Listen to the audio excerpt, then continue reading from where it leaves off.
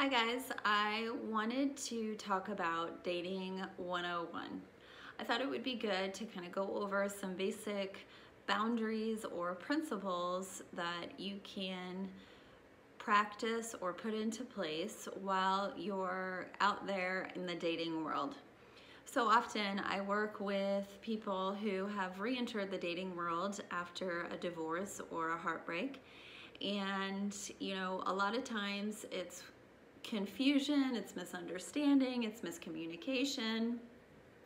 Um, it feels like you know people are playing a game, and so there's just a lot out there that um, that goes into the dating world and how you can enter it or be in it and still honor yourself and your boundaries and who you are and um, and self-love and self-care and all of those really important things. So I just want to kind of go through what are some key components that you need to remember and think about while you're in the dating world. So the first one is don't date out of loneliness. And what I mean by that is, especially if we're just coming out of heartbreak, um, you know, heartbreak sucks and it hurts and it's painful and sometimes we don't want to feel it and so what we do is we jump into unhealthy things.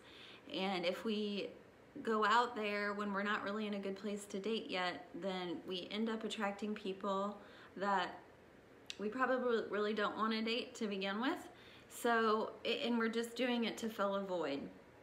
So my suggestion is if you've just recently been through a heartbreak um, whether it's a divorce or just a breakup and take some time for yourself, get to know yourself.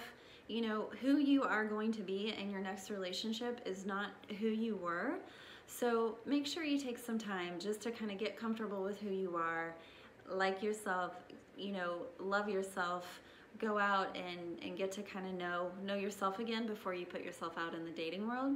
Because then you you put yourself out there in a um, more grounded place and you're going to attract people that you actually want to attract in your life. And that leads to being confident, which is another key component. Um, you know, when we are confident, when we're grounded, when we know who we are, then we bring that to um, to the table when we're out there in the dating world. Okay, so you need to be yourself. If you go into it, you know, wearing a mask, then you're not going into it in an honest way, and that's no way to start, you know, a dating relationship at all. The thing is, is that when you go on dates, you're not going to get married. You're going to learn who the person is that you're dating with and to really see if you want to be with him or her. You know, um, and I think that's the other thing that often happens is we go into it thinking, oh, I gotta be in this next relationship or, you know, especially if you've been in a long-term relationship that had that has ended, you wanna go from being in that intimate relationship to jumping into another intimate relationship. And it, it doesn't work that way. You need time to get to know each other and really to develop a bond of friendship Dr. John Gottman, he talks a lot about the one of the key foundations of a relationship is your intimate friendship. So you can't just, you know, go out on one date with a person and know everything. It takes time to get to know that person. And in this day and age, we are kind of impulsive. And so, and that's what I find with the dating apps. It's like, okay, well, I'm gonna go out on a date with you, but I'm also gonna talk to these five other people. So if I'm not, you know, fireworks in this date, then I'm just gonna go talk to somebody else. And, you know, I think it's having that understanding that when you get to know somebody, you've got to get to know them and take time to get to know them. And if you don't know yourself first, then, you know, it's, you're, you're to create a lot of confusion. And if you start talking to one person and there's an attraction there and there's interest there, but you're also talking to five other people, it makes it harder to really give your time to the one person that you want to maybe develop a relationship with.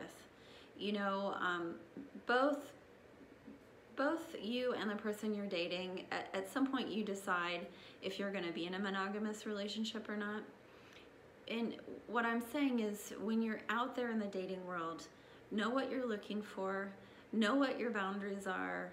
Um, try not to be impulsive. You know, I get that we all want to be in a relationship because we thrive in a secure, loving attachment. But if we're here and here and here and here, how do we develop a strong, secure attachment with a potential long term partner? So, you know, what are your boundaries? What's okay and what isn't okay when you're going out on dates with people? You know, what are you looking for? You know, and again, to me, it goes back to who you are in um, in the present, not holding on to pieces of who you used to be in the past, but get to know yourself first. Don't compromise who you are, and, and that goes back to just being you and loving yourself and being happy with who you are and you know being grounded. Don't compromise who you are because you think that um, this potential partner wants something different. If the potential partner wants something different, then he's not or she's not for you.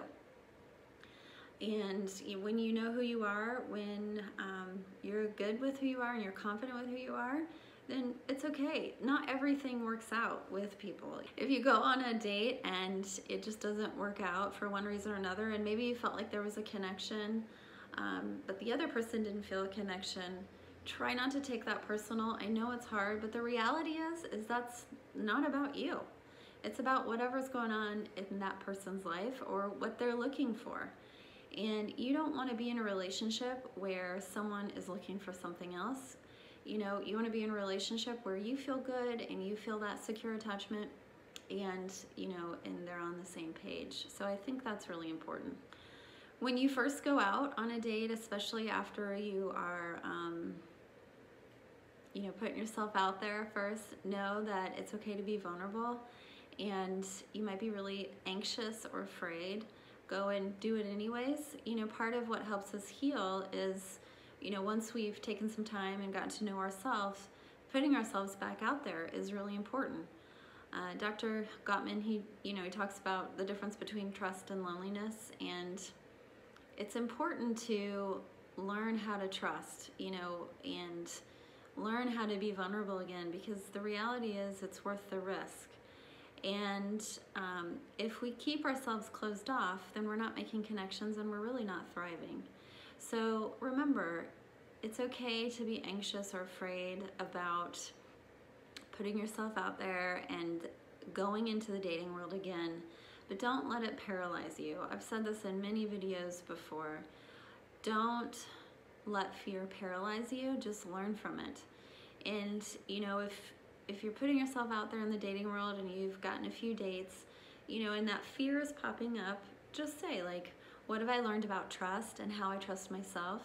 What have I learned about myself that I know that I bring to the table? Uh, I am worthy, I am enough, and I'm a value, self love right there. And, you know, and just to say, I know that I'm in a place where I'm grounded and I'm strong and I'm looking for a partner to share a life with. And what are the things that I'm looking for? And, you know, so let fear be a reminder of those things that maybe you want to go through before you go out on a date, but don't let it paralyze you. Take this video and really go through the steps. You know, be confident. Don't compromise who you are and don't date out of loneliness just to fill a void.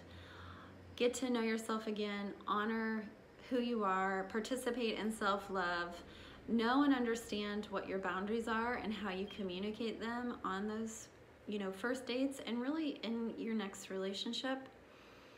Uh, it's good to be vulnerable. It's, you know, good to know what you've learned from your past relationships and who you are in the present and what you bring to the table. So those and being confident. So those are all the things that I think are key components when you're starting to enter into the dating world again.